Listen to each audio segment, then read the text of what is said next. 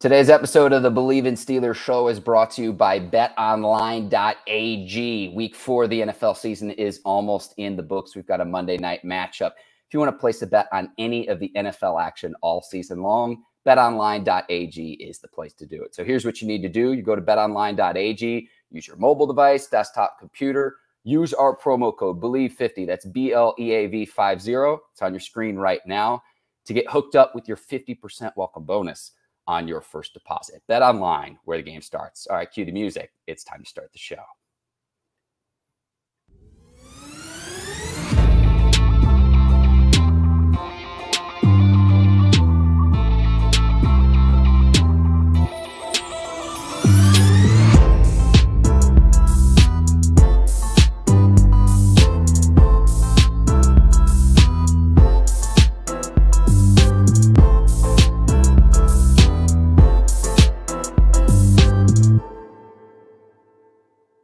And welcome to the Bleav in Steelers show on the Bleav Network. I'm your host, Mark Bergin, joined today by fellow Bleav Bleav Podcast Network host Andrew Golden.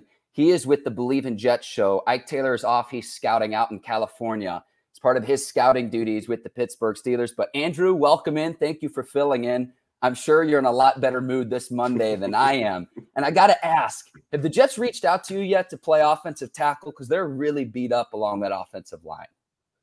Uh, no, they haven't hit my phone yet. Uh, if they want Zach Wilson to be standing upright for the majority of this season, I would say that they go ahead and not do that. Um, as bad as the Jets' offensive line has been, I promise I would be worse. Uh, so, for Zach Wilson's sake and for my own health and safety, let's just not do that. All right. You're very humble and very gracious. Again, Andrew Golden, we'll say the better half of the Bleav in Jets, one of two uh, host of that show. He does a great job. Lamont Jordan as well. So I would encourage any of our listeners here on Bleav in Steelers to go check them out. And again, thank you for coming on today to break down this game at Acrisure Stadium in Pittsburgh. Uh, I'll say this: the silver lining for Steelers fans, the Kenny Pickett era is underway. Finally, we've waited for it. I correctly predicted that he would play in this game. And I'll say this at least he gave the Steelers a chance. And I'm going to say this too, Andrew not all interceptions are created equal. And he had three interceptions. There was one that was really costly late in the fourth quarter. But all in all, I think that the Steelers' offense moved the ball. There was a lot more energy.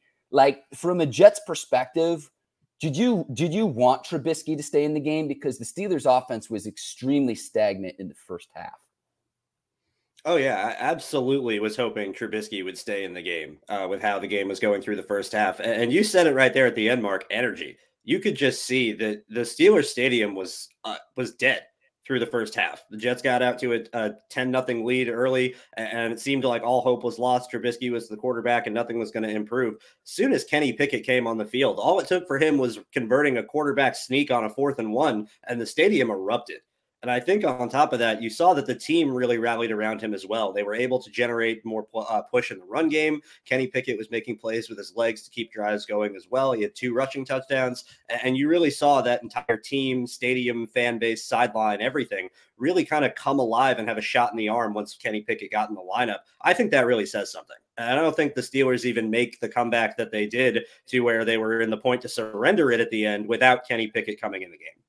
I'm with you there. And I say not all interceptions are created equal. The first pass that he throws is in the interception, a 50 50 ball to Chase Claypool. He's six foot four. I'm actually okay with that. That almost served like an arm punt. Now, the interception that you have to avoid is when you have a lead late in the fourth quarter. Defensive back Michael Carter, the second, makes a diving interception. It was a great play, but that's just a ball you cannot throw. And that's something where Mitch has been a lot more conservative in the four games that he's played, probably doesn't make that throw. And Kenny Pickett even said after the game in his news conference that that's just a pass you cannot make in that situation. And the Jets take advantage coming back from a 10 point deficit. Yeah, absolutely. I think for for Pickett in particular, that's a that's going to be a learning situation where he threw it late. He's going to the sideline. He's got Freiermuth on Sauce Gardner on a second and 15, I believe it was. And he's going through his progressions off the snap. He gets a little bit of pressure, pockets closing in, and he sees Freiermuth late to his right and he throws it late. And that gives Sauce an opportunity to recover. It he messes up the throw. Uh, or the the catch, but I should say, when he's coming in, closing on Freiermuth, ball's high. Freiermuth tips it up in the air, and Carter the second's able to come over and catch it for the interception. That's just going to be the learning moment for Kenny Pickett. Is the next time that happens, just throw the ball in the stands. That you you don't need to be trying to force that ball in on second and fifteen. Yes, you have a lead, but you know, taking time off the clock, getting into third and medium or third and 15 and punting and taking the Jets even further away than they were, that's going to be best case scenario. Um, but that's what you can expect of a rookie quarterback in his first start who didn't practice to start all week. And that's the other thing to remember with Kenny Pickett is that he wasn't taking first team reps in practice this Trubisky was. So he's been preparing, coming in, not getting the same sort of chemistry with this first string offense. And that's when you're going to have miscues like we saw on that interception. But that's not, like you said, not all interceptions are created equally. I didn't see anything from Kenny Pickett in this game that made me go, oh my God, he shouldn't be playing or, or anything that made me think that he that this was too big of a moment for him or that he wouldn't be able to be capable of, of succeeding. I was quite honestly very impressed with what I saw from Kenny Pickett. And that play included, even though it was a bad ball, that's a rookie mistake that pretty much every rookie quarterback in league history has made, and you expect him to iron it out in the future.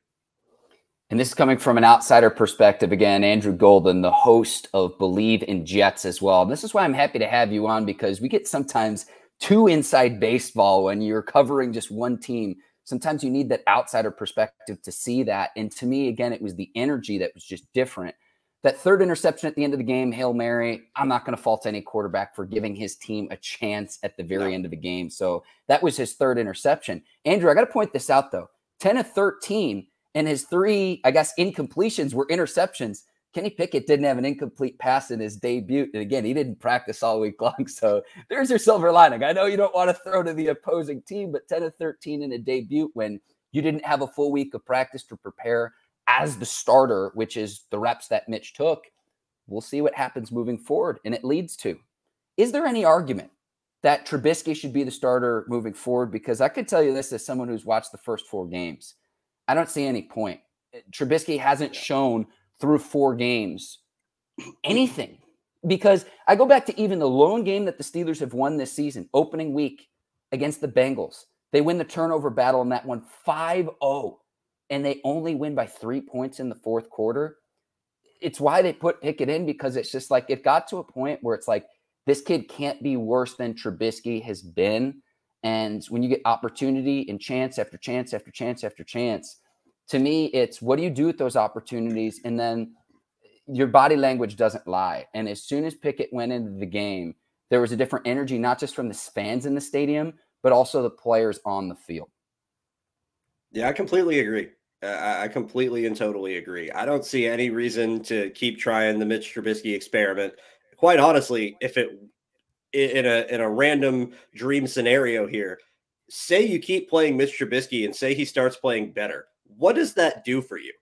What what is that? You know, where does that help the Steelers organization now and in the future? Because if Trubisky is playing average, he's still not playing good enough to be great or elite, which is where you would always want to have the quarterback position in the NFL. On top of that, he's keeping this first round rookie that you just drafted on the bench, taking away reps and opportunities for him to learn. Kenny Pickett, like it or not, is the future of this team, at least for the next handful of years and whether it's going to start now going into week five after Mitch was benched at halftime, or it's going to start maybe the week after if they bring Mitch back, or whenever it ends up officially starting, even though it seems likely that it already has started, that's the future of the Steelers. And so, whether Kenny Pickett is good or bad, the Steelers need to find that out as soon as possible because, in the off chance that Kenny Pickett doesn't work out, now you have to go find someone else. And you can't be wasting time treading water with a, an average to below average veteran quarterback that's looking for a, a home that has shown time and time again that they're not going to be able to perform well enough to stay in one spot for long enough. I don't see any reason to keep playing Trubisky. I think even if Kenny Pickett plays worse, he gets valuable experience. He gets to adjust to the speed of the game. He gets to build chemistry with the starting offense. And that's going to bode well for him in the future, even if this year ends up being pretty rocky. You got to be thinking beyond just this year if you're the Steelers the chemistry portion I think is very underrated because other than George Pickens, he doesn't have the reps with Chase Claypool, Diontae Johnson, Pat Freiermuth that a regular starter would have that say Ben right. Roethlisberger had a year ago. Now, th- what you're experiencing in New York is the exact same reason why you draft Zach Wilson, because you look at the, the quarterback talent in the AFC and specifically the teams in your own division. You're accustomed exactly. to going against Tom Brady when he was in New England for years. You got Josh Allen to deal with in the AFC East as well. I'm looking at that from the standpoint where it's like, look, just put this on paper. This season, which quarterback would you want to have? Lamar Jackson, Joe Burrow, Deshaun Watson, Trubisky slash Pickett. I, I don't care how what the upside is. I don't care if, if, if Trubisky or Pickett were playing at as high a level as they're capable of playing at this season. They're coming in fourth place in that argument every single time. So you've got to be able to keep up with the not only just the teams in the conference, but the teams in your own division. That's something you're yep. accustomed to in New York. And that's why you bring in Zach Wilson. That's why you have to be excited for him in year two. And I'll say this too. I was impressed by him, Andrew, because first start of the season, we knew that George Fant, the left tackle, wasn't going to play. So he's without his bodyguard on the offensive line. And coming back from a 10 point deficit on the road, I know this Steelers team, it's it's looking grim right now at one and three in Pittsburgh, but you you had to be happy with what you saw from Zach Wilson to be able to rally his team back in this game. Double digit deficit on the road. That's not easy. I don't care what the environment, I don't care what the level of talent is on this on this Steelers team. No, I, the Steelers could be 0 and 15 and Acrisure Field, formerly Heinz Field, is still going to be a terrible place to play for any opposing team that walks in the door. I don't care what people think, and maybe as a Steelers fan, Mark, you can correct me on this. I think Mike Tomlin's a heck of a coach. Oh, I think there's a lot of teams in the NFL that could do a heck of a lot worse than Mike Tomlin as a head coach. As a Jets fan, let me say, trust me, you can do a lot worse than Mike Tomlin as a head coach. We had Adam Gase for two years. So, moving on from that, the Steelers Steelers are in a good spot organizationally. They have, you know, supported their fan base. They have a head coach that the players rally behind and have full trust in. They have a front office that seems to be very in sync with their coaching staff. And when you have that sort of trust in your organization, you can take risks. You can afford to blow things up to build them back up from what they were. And I think after you have a team that for so many years was the core of Ben Roethlisberger, Antonio Brown, you know, uh, offensive line being strong, running game being strong, defense led by TJ Watt and, and Minkah Fitzpatrick on the back end. That's all well and good. But now Roethlisberger's gone. You don't have Antonio Brown. Le'Veon Bell hasn't been in black and yellow for a long time now. And Najee Harris, as good as he is, is being hamstrung behind a bad offensive line. You got to find ways to get this offense a spark. You got to find ways to give this offense hope and that goes for like i said you got to be thinking more than just right now but you got you can't give up on right now either. And you got to still build something off this season. And even if it's just experience and growth if you're not doing well enough to grow or get a good experience it's not going to matter. As a jets fan what i saw from zach wilson is the fruits of him playing as a rookie because there was plenty of mm. games as a rookie where zach wilson looked awful there were plenty of games as a rookie where Zach Wilson really struggled. He would get down early and make a few mistakes, and that would be it. He wouldn't be able to get back into a rhythm or call himself back up. And you saw the growth from him now in year two, especially coming off an injury where he plays okay to start, has a bit of a dip through the middle of the game in the third quarter. And the fourth quarter runs, comes around, and Zach Wilson came alive and he woke up. And we saw, quite honestly, some of the best football he's played as a New York Jet on those last two drives in the fourth quarter to lead the Jets to a win. That's what, if you're the Steelers, you're hoping to see from Kenny Pickett. That's where you see, okay, we're playing this rookie. The situation around him may not be perfect, but we want to get him the experience now, get him adjusted to the speed of the game, let him learn on the job. So then going into year two, he can already be ahead of the schedule with the learning curve. And now we can work to surround the team with as much talent as possible to help him. Yeah, and I know the Steelers are without TJ Watt, the reigning defensive player of the year. Pittsburgh has struggled to get after quarterbacks since Watt's injury, and that's you can't just replace a player like TJ Watt. It's just not possible. But the Steelers defense is also overly reliant upon Minkah Fitzpatrick's wizardry, and he's a heck of a player on the back end. But in a certain sense, he's been so good. It's like I would argue that other than kicker Chris Boswell, that he's been almost the Steelers' best offensive player. He almost had a pick six. He got ruled out. It set up a touchdown. Uh, he had a pick six in the opener as well. But it's just like, man, the Steelers' offense would look even worse with their average points per game if not for Fitzpatrick on the back end. And that's awfully concerning to me because it's just like you're going up against a Jets team where, again, second year quarterback, first start of the season. It's like, let's get after the quarterback. And I think considering all of the injuries on the offensive line, the Jets did a pretty good job keeping him upright on Sunday. They did a solid job, but I'm going to be honest, Mark. I think more credit goes to Zach Wilson for making people miss in the pocket because Absolutely. the Steelers, in my opinion, were getting pressure and, they were able to to win home. Alex Highsmith came free at least three or four times around the edge on his matchups. Uh, even after their rookie right tackle Max Mitchell went down and they had another backup come in, Highsmith was doing damage on both sides. And I really thought this was an, an impressive game from Zach Wilson to be able to evade pressure, make people miss, get out of what should have been sacks, quite honestly where he's dead to rights and his ability to move and escape and and somehow dance around. As a Jets fan, we're sitting there going, no, no, no, throw it away, throw it away, throw it away. And he's somehow still moving and finding a way to get out and find a way to escape. That isn't always going to happen.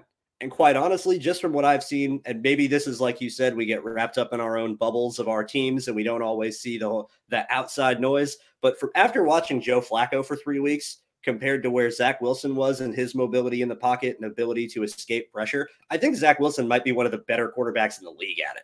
Because there was a handful of times last game and even going back to last season where he should have been dead to rights. And somehow, by some Houdini magic, he's able to escape and break out of the pocket and keep up and keep running. So for the Steelers pass rush, uh, from the outside looking in, I was I was scared of the Steelers pass rush even without TJ Watt. Larry Ogunjobi's a good player. Cam Heyward is all is Cam Heyward. We know all about Cam Heyward by now.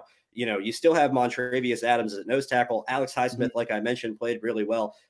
I thought their pass rush did a solid job. Granted, I think the Jets' offensive line is very poor and maybe made them look a little better than they might be in reality. But I think you really got to give more credit to Zach Wilson for getting out of the pressure. And I think when it comes to the Steelers, it's about finishing the sacks, not so much getting to the quarterback, at least from what I saw last week, yesterday. Highsmith had a sack. He leads the NFL with five and a half on the season, but the Jets held Cam Heyward in check. And Heyward even said that this one was on the defense after the game. Uh, I know he had some sort of leg injury at the end of the game, but one TFL, zero sacks, zero quarterback hits. Like I know that quarterback hits and pressures aren't necessarily always an indicator if a defensive tackle is doing well, but if Watt is going to be out, Cam Heyward's the next guy that defenses are, or excuse me, uh, opposing offenses are going to key on. And I'd like to see a little bit more production from Heyward in Watt's absence. But Highsmith still leading the league in sacks. We'll see what happens here on Monday Night Football tonight. But five and a half, he's been really good off the edge. But the thing with Watt is the Steelers consistently line him up over an opposing team's right tackle. Most quarterbacks in this league are right handed. So that is very deliberate uh, for where they li- line up Watt on the field. And he's disruptive and makes plays regardless of if you double team him, triple team him. And he's again, he's not the type of player where you can just plug and play with next man up. It's it's just not going to be that simple. Uh, Andrew, I wanted to ask you uh, near the end of the first half how mad were you at the roughing the passer penalty on Mitch Trubisky, which set up a 59 yard Chris Boswell field goal to end the first half on Sunday? Uh, I wasn't mad that they called the penalty. I was mad at Carl Lawson for hitting Trubisky in that situation. Yeah. I, that I'm not I'm not egregious. I'm not going to sit here and be like, "Oh, the refs are terrible," or "No, this isn't football." There's been plenty of times when that has happened, and that is the case. This wasn't one of them. You got to know it's the end of the half. It's a hail mary situation, and if you're Carl Lawson, I'm not even breathing on Trubisky. I'm playing contained to make sure that he doesn't just get a free scramble to maybe get in field goal range or try something silly with a one second on the clock. But outside of that, I'm not worried about it. And the second I see Tr- Mitch loading up to throw, that's my cue to back off. So I, I really wasn't. I was way more upset at Carl Lawson, who's a veteran who should know better, than I was at the refs for throwing the flag, quite honestly. Gotcha, gotcha. Well, it was like this is the only way we're gonna score uh, yeah. in the first half because it was brutal. It was absolutely brutal. And Boswell's, other than Justin Tucker, I'd argue he's as good as there is in this league from the kicker absolutely. standpoint.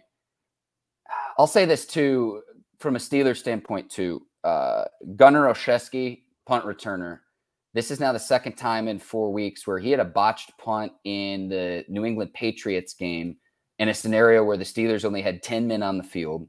He had a fumble on a punt yesterday, trying to make a play. I understand that, but very nearly flipped the field and the Steelers were able to recover. Steelers turned the ball over four times in this game. They the two fumbles they recovered.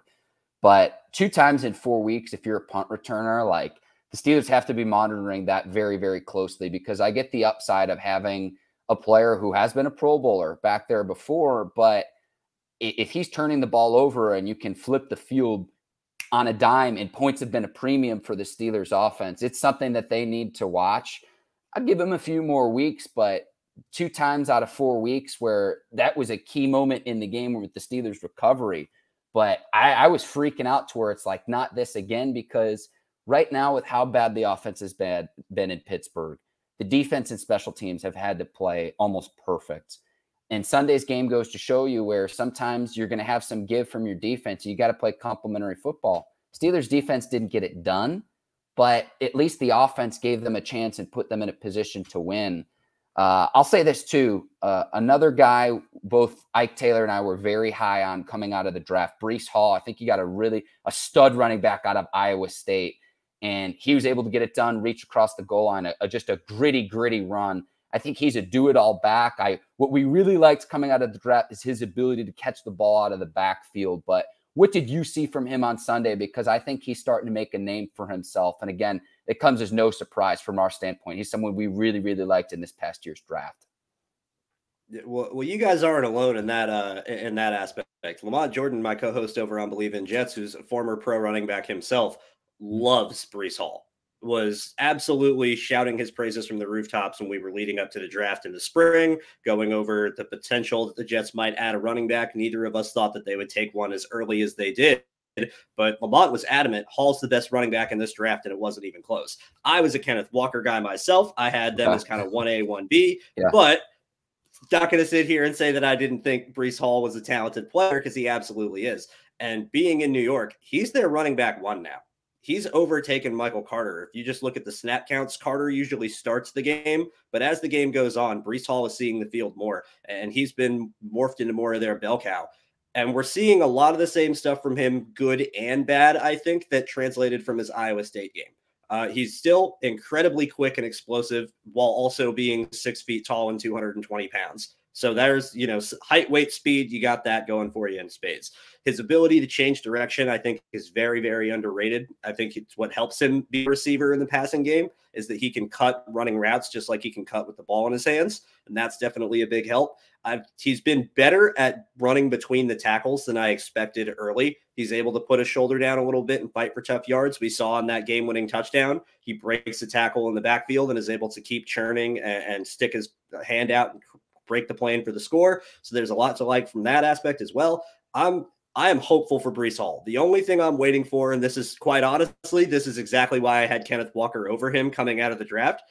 There's a little bit of hesitation with him, where when he gets in the backfield, sometimes he has a lane to the outside or he has a lane to the inside, but it's not quite wide open for him. And he's a little too patient and hesitant and slowing his momentum before reading what's happening and then exploding through the hole you could get away with that at Iowa State when you're the fastest guy on the field in every game. In the NFL, it's a little bit different because guys are so much faster as well.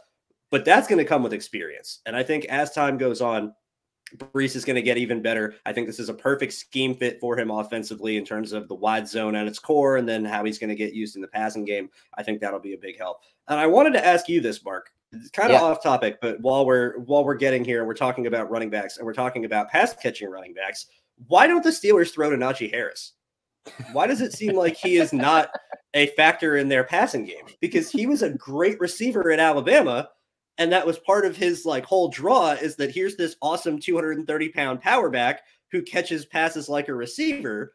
And the Jets suck at defending running backs in the pass game. so I was really, I was shocked that there was very little, you know, uh, effort for lack of a better word, to get Najee Harris the ball. And by your reaction, I'm guessing that you have a pretty good answer for me.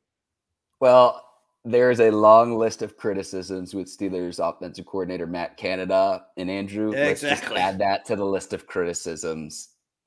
I, I will say this. I liked how they have gotten and made it a priority the last two weeks to get George Pickens, the rookie receiver out of Georgia, the ball. Pickens Agreed. goes for more than 100 yards on Sunday. And Pickens, you could see right away, has more chemistry with Pickett. His level of production in one half with Kenny Pickett has been better than three and a half games with Mitch Trubisky. But yeah, when you have Najee Harris, who's a do it all back, he's not just a pass yeah. catcher, he's not just a runner, he's also a great uh, pass protection blocker as well. He, he's a do it all back. It's the reason why he's a first round pick a year ago out of Alabama. Add it to a long list of criticisms that you would have of Matt Canada. I don't know if Matt Canada has the, the personnel up front and the Steelers' offensive line has been decimated because Maurkice Pouncey retires about a year ago. David DeCastro, an all pro at guard, wears down with injuries, and the Steelers need to let him go. DeCastro was the last player that the Steelers drafted on the offensive line in either the first or the second round of the NFL draft, and that was in 2012. So it's yeah, almost like a long time ago. All, yeah, he was he was eat, Andrew Luck's teammate at Stanford, if that says anything. There you go. And it's almost like when you stock up on groceries and you stay home and you eat and you stay home and you eat and you stay home and eat, the cupboard's going to be bare after a certain point, and you've got to be able to restock and replenish. And it's what the Steelers are seeing on the offensive line right now. Like it's, I, I don't want to throw Matt Canada under the bus and say it is all on him because you're only as good as the the sum of your parts. But like the sum hasn't equaled the parts. Where okay, two years ago when Chase Claypool's a rookie, he ties a franchise record with 11 touchdowns. Diontae Johnson was a Pro Bowler last year, filling in because uh, Ja'Marr Chase was in the Super Bowl. Same thing with Najee Harris filling in for Joe Mixon at the running back position. He was a Pro Bowler a year ago. Pat Freiermuth was winning one-on-one combat catches when Ben would toss it up to him, and he was looking like a stud a year ago as a rookie. George Pickens has shown flashes in the preseason. Like yeah. where where is this collectively? And it is something that right. I saw when Pickett went into the game. At least this offense had a pulse. And through three and a half games right. with Mitch, I just haven't seen it. So to answer your question, Andrew, about why not get Najee Harris going in in the out, pass catching the ball out of the backfield. To me, it's an easy way to create mismatches where he can outrun a linebacker, and then if you want to put a DB on him, get him the ball quickly, and he can overpower and just run over a DB, or he's got a ferocious stiff arm, he can jump over guys. To me, that's a no-brainer. But again, long list of criticisms of an offense that has just been it's been broken this year. Point blank period. It has been broken. Yeah. So that's where I land with that. Yeah, no, I, I completely I understand. Believe me, I could sit here and go through the laundry list of things over the Jets' first couple of games that they didn't do correctly offensively. And there's a, a bit of a mirror, quite honestly, between the Steelers and the Jets. The Steelers have been struggling to run the ball all year. And I don't think it's because of Najee Harris. I think it's because of their offensive line and because they lack the vertical threat downfield in the passing game, not so much at the receiver position, but at quarterback taking advantage of those receivers.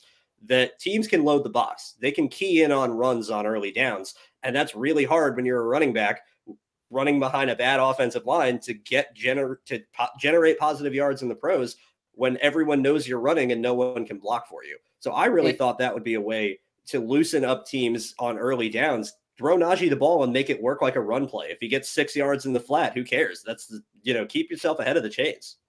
It's it used to be old school where you'd run the ball to set up the pass. In 2022, I think it's the opposite where you you pass to set up Agreed. the run and to keep defenses honest. And that's where downfield, where you have Chase Claypool, who's six four, Freiermuth, who's a big guy and has demonstrated the ability to win one on one scenarios that's why when Pickett's very first throw, he throws an interception up to Chase Claypool. I have no problem with that. It's what forty yards down the field. No, and he's throwing it on five foot eight Lamarcus Joyner at free safety. So that's like that's the this was an incredible play by Joyner to be outsized by Claypool yes. and go up and tip the ball and give an opportunity for Jordan Whitehead to pick it off. But that's if I'm Kenny Pickett, I'm going. I have a six four receiver on a five eight safety. I like that matchup. I'm going to trust my guy at six four to go up and win. That's not a, a, of a decision by any means, in my opinion, on Pickett. You should be getting on Chase Claypool for not boxing out a five eight safety. Sure, sure, and that's where when I mentioned the uh, Pickett Pickens connection, 14 quarters with Trubisky. seven for 16, 96 yards to George Pickens, two quarters with Pickett's, four of four, 71 yards. So it's just like, it's not just what my eyes are telling me, Andrew. The stats back it yep. up as well. And it's like, okay, so what happens when Pickett can develop a rapport with Diontae Johnson yep. and with Chase Claypool and he gets those reps? That's why I hope we see Pickett moving forward. And I hope we don't go through this whole charade of, oh, who's the quarterback? And it was only for one game because the schedule is not getting any easier for the Steelers in the coming weeks up until the bye week. It is a gauntlet in the next four games. But before we get there, I want to go through a few other week four observations from the NFL across the NFL. Chiefs beat the Bucks last night on Sunday Night Football. I want to say this, Andrew. I deeply discounted Patrick Mahomes' ability to get his team fired up because the last time they played the Buccaneers was in the Super Bowl at Raymond James Stadium, and there was no way they were going to lose last night. As soon as I, as soon as they came on, I saw how animated and fired up both Mahomes and Kelce was. It was like I felt like an idiot for picking the Bucks on Sunday Night Football. Oh yeah, um, Pat Mahomes, man. People sometimes we need to go back and stop, and you have those moments where you realize what you're actually watching, and we're watching one of the best quarterbacks in the history of the league. We're watching a guy that's going to go down when he retires like an Elway or like a Marino. And and he is going to be fully willing of being in that category. I'm Patrick Mahomes for me, I, I, quite honestly, I think he's the best quarterback in the league. Josh Allen is fantastic in a very, very close second, and it might be I'm my Jets you. bias holding him off from from number two. But Pat Mahomes has the special ability to always find the open man when he needs to at the very most important times. Where very rarely do you see Pat Mahomes get into a situation where he has nowhere to go with the ball and he doesn't have an answer whatsoever and he just throws a prayer and hopes for the best. His prayers are calculated his prayers are deliberate where where he goes okay i'm falling away i'm on my back foot there's three guys in my face and, and there's travis Kelce. he's got two guys on him but he's got a half of a step and a slight bit of outside leverage. That's all i need. Let's you know off my back foot over the head perfect ball boom. Pat mahomes is a magician.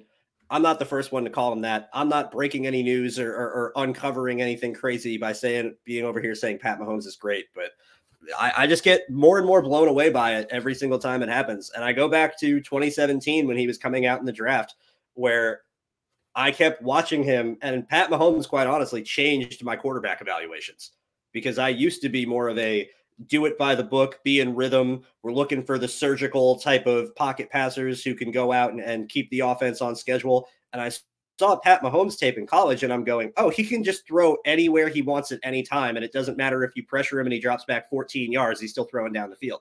That's a superhuman skill. I don't know if there's many other people in the NFL that can play like that, Josh Allen included. Uh, it's you can count them on one hand, and it might not even be that many. So look out, rest of the NFL, because we got some dangerous, dangerous quarterbacks in the AFC. My logic when I picked the Bucks was Todd Bowles figured out Mahomes with the two high safeties and slowing down a Chiefs offense that at the time had Tyreek Hill. And I'm like, well, Tyreek Hill's gone now. And this was the Buccaneers defense that held the Chiefs to nine points in the Super Bowl. First time that they're playing. I know that the rosters aren't quite all the same, but this is what I didn't realize. It's not just everything that you described with Mahomes. Mahomes with a much upgraded offensive line Mahomes with time yes. in the pocket to throw the ball is the scariest thing in all of the NFL.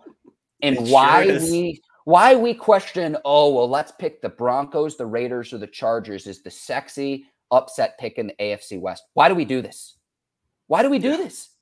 So it was Wasn't just on display yet again. I, I had yeah. the Chiefs in the Super Bowl this year, so it didn't find me in that crowd. Speaking of the Bills, Crazy comeback win against the Ravens. Ravens led by 17 points against the Bills. Week two, the Ravens had a 21 point lead against the Dolphins. I thought this was the team that was supposed to be able to run the ball and run out the clock. Ravens lose both of those games. Now, the Ravens joined the 2011 Vikings, only team to lose multiple games after leading by 17 points within their first four games. I knew this was going to be a showdown, but we see Josh Allen's wizardry yet again, and they pull one out on the road in Baltimore. Heck of a game and heck of a finish. I hope we get to see this this matchup again come playoff time because this was just a heck of a game on Sunday afternoon. I wouldn't be shocked at all if we see this game again in the playoffs. I think you have two teams in the Ravens and the Bills that are very, very talented, that are very, very well coached, that have great quarterbacks leading them, and have strong defenses that can make plays when it counts to keep them in games. That's a recipe for playoff football. I think you're going to see those two definitely as one of the seven that gets out of the AFC when we get to January. Sticking to Buffalo in particular, I think they're the best team in the league. And I don't even think it's close. I don't even know who I would put as the number two behind them right now because offensively, defensively, special teams, the whole collective phase, coaching included, I don't know if there's a, a squad that's assembled better. And you sh- it shows in games like this. How many other teams in the NFL can get down 17 points and still win? How, how many other teams can can get down 17 points against the Baltimore Ravens and still win? Not many. And I really think, on top of Josh Allen and how incredible he is, eh, which, you know, he's an alien, like talking about Mahomes, we don't need to say anything that's already been said before. But I want to give credit to Sean McDermott because I don't hear nearly enough people talking about the job that Sean McDermott has done as head coach of the Buffalo Bills. He comes in in his very first season, goes nine and seven, and takes the Bills to the playoffs for the first time in something like 15 years. And the Bills have been a powerhouse ever since. They draft Josh Allen. There's a slight warning curve his rookie year, second year improvement. They make the playoffs. Third year, he's one of the best quarterbacks in the NFL. Fourth year, they look like the best team in the NFL. Where and no one wants to say Sean McDermott's the top five head coach. No one wants to say Sean McDermott is even mentioned among some of the greats. I brought up Mike Tomlin earlier and the the mm-hmm. the pedigree that he's earned over his coaching career, which again I think is very warranted for Tomlin. But I also think McDermott deserves a lot of that same praise and the collective team that he has built. You know how hard it is to have a team in the NFL with arguably the best offense and arguably the best defense at the same time? and how often does that happen? When you can sit there and say that one team has probably the best offense and probably the best defense in the league. How are you supposed to combat that? That to me goes to coaching. The Bills have had uh, credit to GM Brandon Beane as well, but Sean McDermott, man, it's time we give this guy his flowers. He's really earned it. If you're a Bills fan, you're just hoping that this team doesn't peak too soon. And I know they've had some injuries on the defensive side of the ball, safety position. But I'll, I'll say this about McDermott: you go back to when it matters in the playoffs, 13 seconds left against the Chiefs. Can you get back to that point again? And then can you win when you're in that position again? And then I'll give you your flowers because regular season and getting this team to the postseason, I'm with you. But with the NFL, it's what have you done for me recently? And come playoff time, that's what people are going to point to. And that would be, I guess, the argument against McDermott.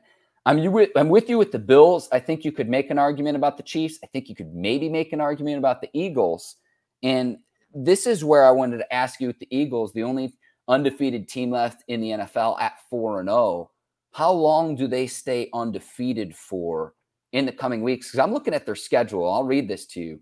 Next Sunday against the Cardinals, week after against the Cowboys. Then they've got the Steelers, the Texans, the Commanders, and the Colts. I'm looking at that on paper and I'm like, they've got to be favored in every single one of those games. So, how long can the Eagles keep this thing rolling?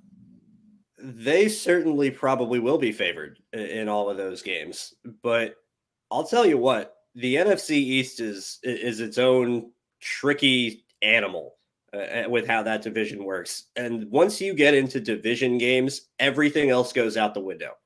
That's when we've seen crazy Cowboys teams that look like, you know, they're going to roll their way into the playoffs. They play the Giants on Sunday night football in a division game and all of a sudden the Giants look great. Or, you know, the Commanders play terrible all year and all of a sudden they go into Philadelphia and that's when they wake up. So I'm looking at that game against the Cowboys. One, because we got to be honest, the Cowboys are playing well. They're a good team in their own right. Cooper Rush is undefeated as a starter, is playing Cooper plenty man. good football. Yeah, playing plenty good football to keep their offense going afloat. Uh, I would like, for my fantasy team's purposes, for them to give Tony Pollard the ball more, but that's a discussion for another uh, another day. Either way, I think the Cowboys are going to be their best shot at a loss. I'm not going to come out and say, yes, the Dallas Cowboys are going to beat the Eagles, but of those next four games, I think that's the one where they could hmm. potentially see some trouble. And I could see the Cowboys irking out a win, knocking the Eagles out of undefeated. The Eagles are going to be a problem for most of this year, if not all of it. I'm with you. I've got the Eagles as the top team in the NFC right now. That's just where I'm at. And Jalen Hurts and company have been balling. They got two stud receivers. And I mean, like, we could talk till sundown about how good this Eagles team's looked. A Jags team, by the way, too. I think the Jags are pretty good in the AFC South. A few other things I want to discuss, though. Uh, Carolina Panthers, I know Matt Rhule wouldn't rule out benching Baker Mayfield in the coming weeks. I think Rhule is a lame duck walking, and I'm going to say this too. Benching Baker Mayfield in favor of Sam Darnold is not going to save your job. Point blank, period. No. And like I like it's no knock on Sam Darnold or Baker Mayfield, but Mayfield is a better quarterback than Sam Darnold. And if Darnold does end up getting the start, you are going to see this. Mark my words here. We're recording this on October the 3rd. Mark my words. You can come back to this clip after the fact. But if Darnold gets the start over Mayfield, it's not going to solve anything for the Panthers. No, not at all. You're talking to a Jets fan. I don't need to see anything more out of Sam Darnold to know that he is not going to be capable of leading that team to any sort of success.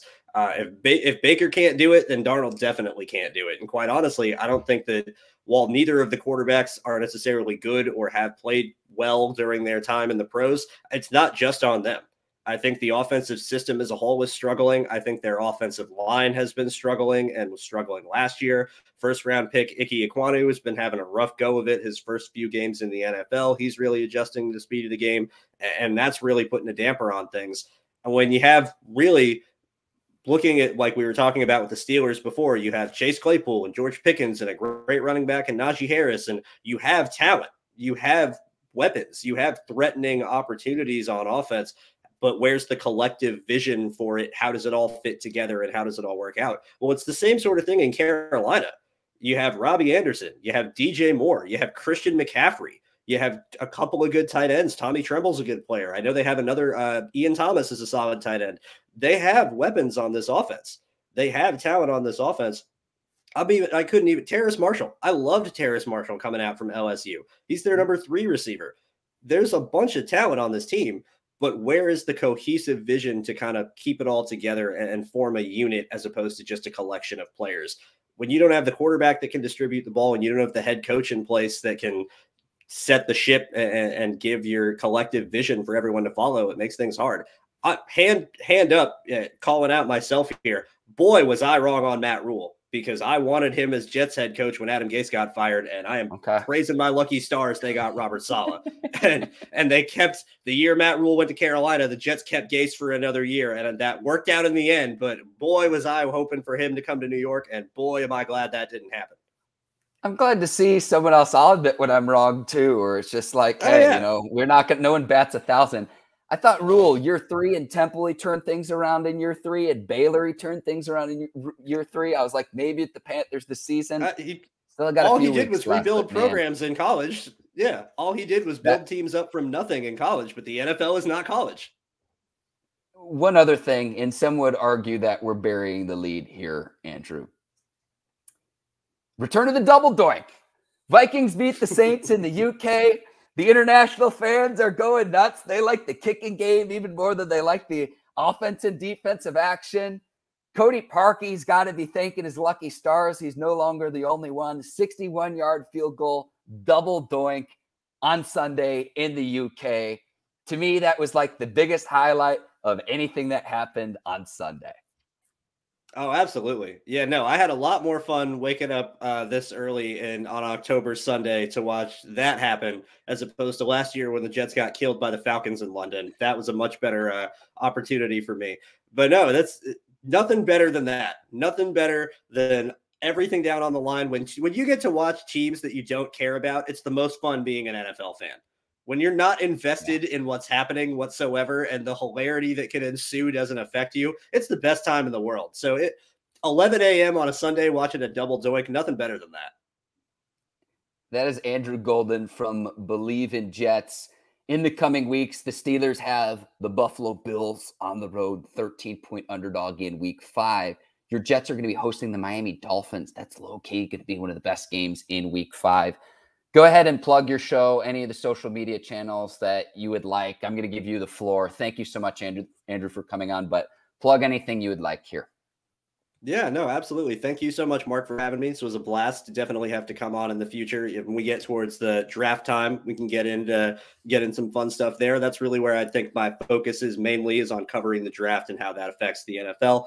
But on top of that, you guys want to follow the show on our end, you can follow at BLEAV underscore in underscore Jets on Twitter. Search the show on Apple, Spotify, Stitcher, iHeartRadio, etc. And that's going to be on uh, BLEAV in Jets as well. You can find me personally if you want to follow me for some reason at Andrew Golden underscore 17 on Twitter. You can follow my co-host Lamont Jordan at Coach Jordan 34. Uh, and on top of that, just keep an eye peeled as we're going to be releasing episodes twice a week, going through recapping the year. And I cannot wait already. I'm looking forward to the draft. It's going to be a lot of fun for a draft season once when we really get things into high gear, break down all these prospects, look ahead to the NFL in 2023. Hey, I know you got Josh Allen in your division. I know you're at two and two right now, but don't count out Jets in the playoffs. Just saying, could happen. Could happen. I'm never say never. After week two in Cleveland, I've learned never say never. For my guest, Andrew Golden, I am Mark Bergin. Thank you for watching the Bleav in Steelers show. I'll be back later this week to preview Steelers and Bills. Until then, take care and so long, everybody.